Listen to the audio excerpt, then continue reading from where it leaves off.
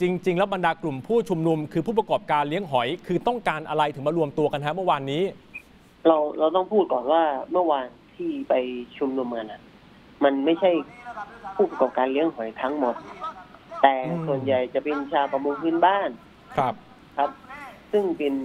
ผู้ผู้ทำมาหากินหาปูหาปลาในแถบอำเภอเมืองพุนพินอืมแล้วก็มีผู้ประกอบการบางส่วนไป ครับนะ แล้วทีเนี้ยที่เขาไปอะใจความหลักๆก็คือเขา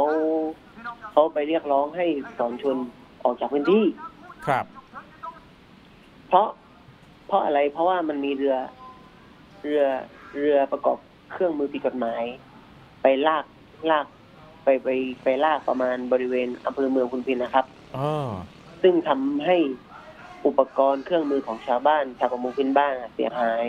หาปูหาปลาไม่ได้ อืมแล้วก็ข่มขู่ให้ชาวบ้าน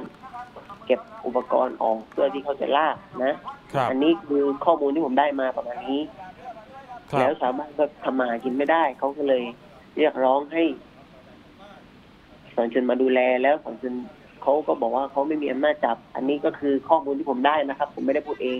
อ๋อ แล้ว แล้วพอพอพอเป็นอย่างนั้นปุ๊บสอนชนบอกไม่มีอำนาจจับ มันก็ ยังมีการประมงผิดกฎหมายเข้ามาอยู่ในพื้นที่เหมือนเดิมอืมโดยครัที่บไม่มีอะไรเกิดขึ้นทำให้ชาวบ้านทำมาหากินไม่ได้ เขาก็เลย รวมตัวขับไล่สอนชุน เพราะสอนชุนอยู่ก็ไม่ได้เกิดความสงบ เพราะฉะนั้นไม่อยู่ดีกว่า แล้วก็อยากให้ผู้ว่าราชการจังหวัดสุราษฎร์ลงมาแก้ไขปัญหาด้วยตัวเอง เพราะว่าคุณสุราษฎร์จะรู้ปัญหาเบื้องลึกได้ดีที่สุด ขอบคุณที่ติดตาม TNN ช่อง 16 นะครับ แต่อย่าลืมกด subscribe และกดกระดิ่งด้วยนะครับ เรายังมีวิดีโออื่น ๆ ที่น่าสนใจอีกเพียบ และถ้าท่านไม่อยากพลาดการรับชมรายการแบบสดๆ ก็สามารถติดตามได้ที่ Facebook TNN Live หรือติดตามช่องทางอื่นที่ทั้งง่ายและสะดวก แค่กดลิงก์ใต้วิดีโอนี้ครับ